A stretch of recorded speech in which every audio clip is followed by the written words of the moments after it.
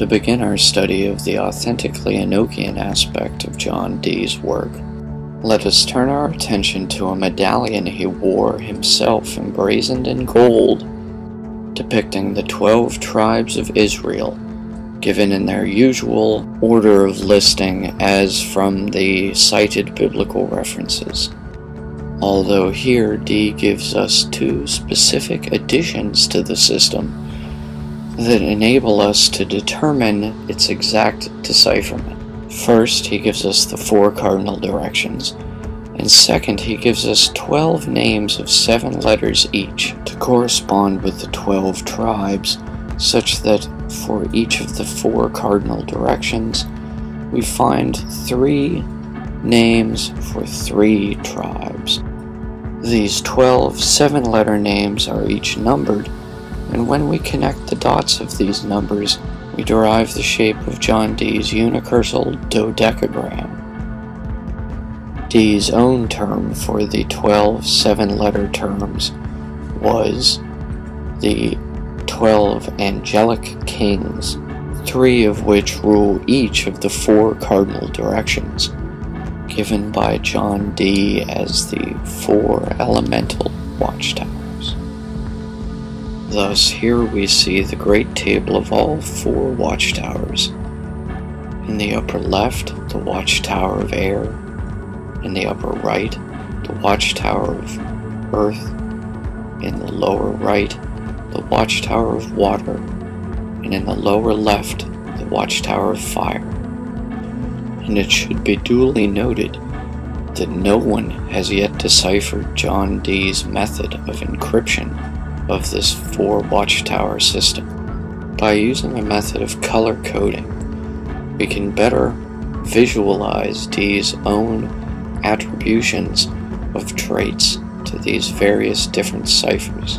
So here we see purple is medicine, royal blue precious stones, sky blue transformation, azurite the four elements, yellow natural substances, orange transportation, red mechanical arts, garnet secret discovery, green the 24 seniors, silver the god names vertical, and gold the god names horizontal. The more popularly known version of Dee's four elemental watchtowers depicts the sigils of 91 seven letter places in the earth, given such that there are three such seven letter sigils for each of the 30 Ayres, aside from the lowest Ayre, Tex, which has four. Here we see air is color coded yellow, earth blue, fire red, and water green so we can see accordingly the Ayres along the right are color-coded alike. In the following list of these 91 places in the Earth, we will be using the color coding of both the 30 Ayres as well as the original attributes given by John Dee. And so here we see a list of all 91 names given according to the 30 Ayres, and color-coded per each letter according to the attribute of its location on the four watchtowers. Note also that each of the 91 names is assigned to one of the 12 angelic kings. And also note that there is a 92nd name that is excluded on this list. Again, using the color coding of the original attributes of John Dee. per letter of the name, we can next list these 91 places in the earth by one of 12 angelic kings according to one of four cardinal directions, as well as one of 30 Ayres for each seven letter sigil representing a place in the earth each letter coded according to the traits given by Dee for that location. and so to come to understand the system as Dee himself may have intended it to be mapped onto the surface of the four watchtowers.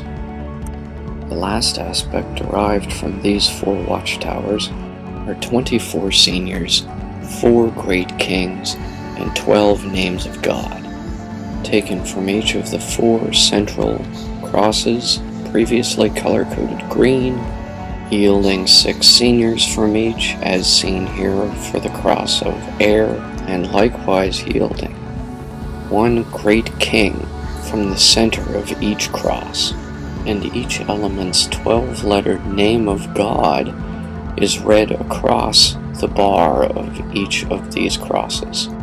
The place of the 24 seniors and 4 great kings is upon the elemental watchtowers. However, the 12 names of 3, 4, and 5 letters each appear as holy banners surrounding a representation of the earth divided into the four cardinal directions.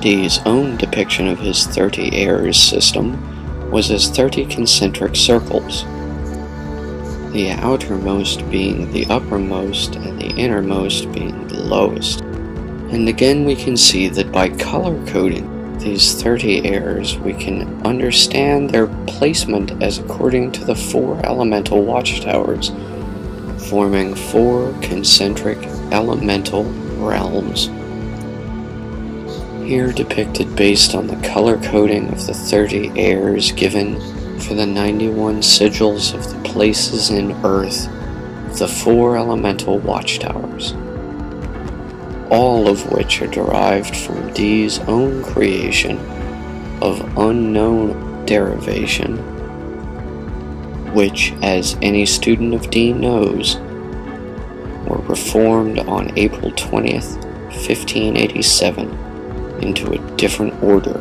than the one that has been used by researchers since.